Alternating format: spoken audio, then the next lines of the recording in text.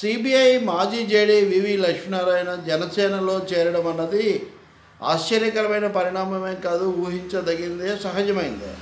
కానీ దీని చుట్టూ వచ్చినటువంటి అనేక కథలు ఊహాగానాలు ఆలస్యాలు దానివల్ల కొంత దాని మీద ఉత్కంఠ ఏర్పడింది. ఎట్టకేలకు ఆయన ఒక నిర్ణయం తీసుకున్నారు. కొద్ది రోజుల కిందటనే చాలా ప్రముఖమైనటువంటి మీడియా సంస్థలు పత్రికలు ఛానళ్ళు కూడా ఆయన తెలుగుదేశంలో చేరి భీమిలి నుంచి పోటీ చేయడం ఖాయమైపోయింది అన్నట్టుగా కథలు కథనాలు ఇచ్చారు. వాటిని అంటే వాటికి ఉన్నటువంటి రాజకీయ సామీప్యతలు సాన్నిహిత్యాలను బట్టి ఇది నిజమే ఉంటుందని కూడా అందరూ నమ్మాల్సి వచ్చింది. దానికి తగినట్టే నమ్మే పరిస్థితి ఏర్పడింది. అయితే జేడీ గారు కూడా దాన్ని సూటిగా ఖండించకుండా సమయం తీసుకున్నట్టుగా ఉన్నారు. అది అది వెంటనే ఖండించాల్సిన అవసరం ఆయనకి ఏముంది? ఇవన్నీ ఊహాగానాలు. నేను సరైన నిర్ణయం తీసుకున్నప్పుడు చెప్తానంటూ వచ్చారు. వాస్తవంగా చెప్పాలంటే నేను ఓపెన్ మైండ్తో ఉన్నాను. బీజేపీ నుంచి ఆప్ ఆపు నుంచి కూడా నన్ను పిలిచారని ఆయన గతంలో చెప్పున్నారు. చాలా కాలం దీని మీద అనేక నేను ఒక ఇంటర్వ్యూ చేశాను రెండు బైట్స్ కూడా పెట్టాను. బీజేపీ ఆప్ తర్వాత సొంతంగా పార్టీ పెట్టడము స్వచ్ఛంద సంస్థని నడిపించడము మధ్యలో మళ్ళీ అమ్మల్లో కుంభం అన్నట్టుగా జయప్రకాష్ నారాయణ గారు వచ్చి తన పార్టీలో చేరమని ఆవిర్భావ సభలో ఆలోచన సభలో అని అడగడం ఇవన్నీ కూడా కొంత సమయం తీసుకున్నట్టుగా ఉన్నాయి. ఎటకేలకు ఆయన జనసేనలో చేరడం అన్నది ఆ పార్టీ అధినేత చాలా మనస్ఫూర్తిగా ఆహ్వానించారు. జేడి లక్ష్మణ్ కూడా పవన్ కళ్యాణ్ మీద ఈ సందర్భంలో చాలా ప్రశంసాపూర్వకంగా మాట్లాడారు. వాళ్ళిద్దరి మధ్య ఆ విధమైనటువంటి సంబంధం ఉందని రెండు వేల పద్నాలుగులోనే పవన్ కళ్యాణ్ జేడి లక్ష్మీనారాయణతో రాజకీయాలు చర్చించారని ఆయన పదవికి రాజీనామా చేసి ప్రజాసేవలోకి రావాలన్నప్పుడు అందరికంటే ముందుగా ట్వీట్ చేసి స్వాగతించారని కూడా నేను గతంలో చెప్పున్నాను. ఈ నేపథ్యంలో ఆయన జనసేనలోకి చేరడం చాలా సహజ పరిణామమే స్వాగతించదగిందే. అదే సమయంలో తెలుగుదేశంలో చేరాలన్న వార్తలు ఎందుకు వచ్చాయి? దాని మీద తెలుగుదేశం నాయకులు వైసీపీ నాయకులు కూడా ఎందుకు మాట్లాడారు? నేను చాలాసార్లు చెప్తూ ఉంటాను. వైసీపీ టీడీపీ నాయకులు ప్రతి విషయాన్ని కూడా వివాదం చేసి దాని మీద అటు ఇటు తిట్టేసుకోవడం జరుగుతూ ఉంటుందని అసలు జేడీ లక్ష్మణ్ చేరతారన్న ఊహాగానం రాగానే వైసీపీ వాళ్ళు చాలా తీవ్ర స్థాయిలో ధ్వజమెత్తారు. ఇదంతా కుట్ర ఎప్పటి నుంచో ఉంది అది ఇది అని చెప్పి. నేను ఆ సమయంలో చెప్పాను ఆయన తెలుగుదేశంలో చేరితే రా- రాజకీయంగా పొరపాటు సంకేతాలు వచ్చే అవకాశం ఉంది. వైసీపీ ప్రచారాలకి ఇది ఊతం ఇచ్చేటటువంటి వ్యవహారం కూడా కావచ్చు అనే ఒక మాట మటుకు నేను చెప్పాను. మొత్తానికి ఆయన బాగా ఆలోచించినట్టుగా ఉన్నారు. చివరకు జనసేనలోనే చేరారు. తెలుగుదేశంలో చేరతారన్నవన్నీ ఊహాగానాలు అని చెప్పి ఆయన చెప్పారు.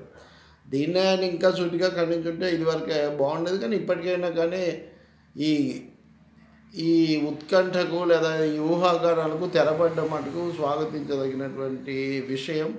తెలుగుదేశం నాయకులు కూడా ఎందుకు చేరకూడదు? అది ఇది అని చెప్పి మాట్లాడారు. అంటే ఊహాగానమే అయినప్పుడు వాళ్ళు అలా మాట్లాడాల్సినటువంటి అవసరం కూడా లేదు. అంటే ఏదో ఒక అంశం మీద ఈ రెండు పార్టీల మధ్య వివాదం నడుస్తున్నట్టే జేడి లక్ష్మణ అంశాన్ని కూడా వీళ్ళు వివాదం చేశారని చెప్పి మనం ఇప్పుడు అనుకోవాల్సి వస్తుంది. జనసేనలో చేరిన తర్వాత ఆయన లోక్సభకు పంపించాల ఆలోచన ఉందని కూడా పవన్ కళ్యాణ్ మీడియాతో చెప్పారు కాబట్టి బహుశా ఆ ప్రయత్నమే ఎక్కువగా జరగవచ్చు. రైతాంగ సమస్యలపై తను ఎక్కువ అధ్యయనం చేశానని వాళ్ళకు న్యాయం జరగాలి. రైతులు యువకులు యువత. ఈ రెండు విషయాలు జేడీ ఎక్కువగా మాట్లాడుతున్నారు. భారతదేశ జనాభాను బట్టి యువత ఆర్థిక వ్యవస్థ స్వభావాన్ని బట్టి రైతులు ఈ ఉభయలకు కూడా ప్రత్యేకమైనటువంటి కేంద్రీకరణ అవసరమే. దాని మీద ఆయన అధ్యయనాల నుంచి ఏదైనా కార్యక్రమం రూపొందించుంటే దాన్ని తప్పకుండా ఆచరణలో పెట్టేటటువంటి అవకాశం ఉంటుందని అనుకోవచ్చు. ఇంకోటి ఈ దీంతో ఇప్పుడు మళ్ళీ వైఎస్ఆర్ పార్టీ వాళ్ళు తెలుగుదేశంలో చేరుతానన్నప్పుడు అంటే వాళ్ళ ప్రత్యర్థి ఇదివరకు కోర్టులో కేసు వేసింది కూడా అంటే సిబిఐ దర్యాప్తుకు మూలమైంది కూడా కాంగ్రెస్ తెలుగుదేశం నాయకులే కాబట్టి వాళ్ళు కొంత ఆగ్రహించడంలో అర్థం ఉంది. కానీ ఇప్పుడు జనసేనలో చేరితే కూడా ఆ పార్టీ అభిమానులు ఇట్లాంటి వాళ్ళు కొంతమంది సోషల్ మీడియాలో వచ్చేసి ఇదంతా ముందే తెలుసు దొంగలందరూ చేరారు అది ఇది మాట్లాడుతున్నారు. అంటే ఇక్కడ ఏమనుకోవాలి? జేడీ లక్ష్మణ్ ఏ పార్టీలో చేరకూడదా?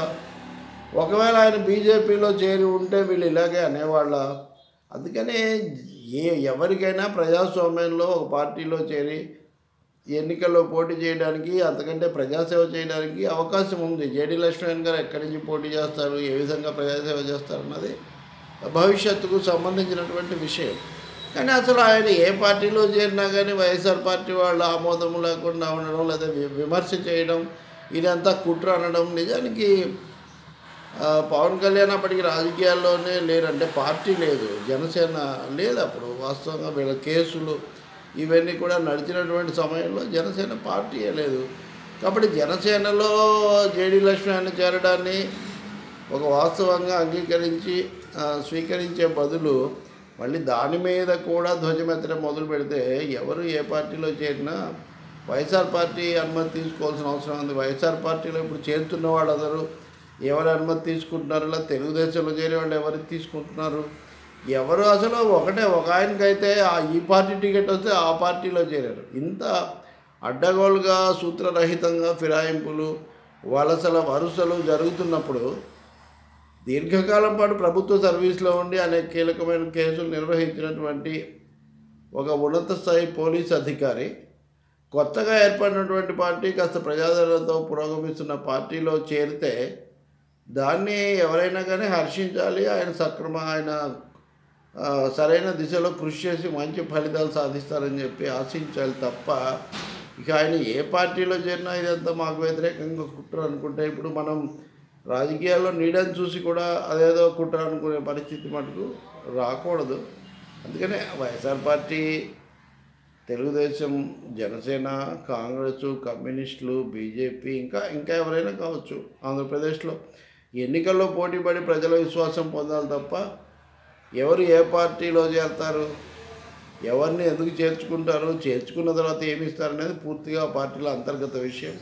జనసేనకు సంబంధించినంత వరకు మటుకు జేడి లక్ష్మణ్ చేరిక పట్ల పూర్తి హర్షం వ్యక్తమవుతుంది. అలాగే యువత ఇది ఎప్పుడో జరిగి ఉండాల్సింది ఇప్పటికైనా జరిగిందని వాళ్ళు చాలా ఇదయ్యారు నాకు కూడా ఒకరిద్దరు ఆ, మెసేజ్లు కూడా పెట్టారు. దీని మీద మీరు వ్యాఖ్యానిస్తే బాగుంటుందని. అందుకని నేను ఇది చేస్తున్నాను తప్పకుండా జేడీ లక్ష్మి అనే అనుభవము పాలన అనుభవము.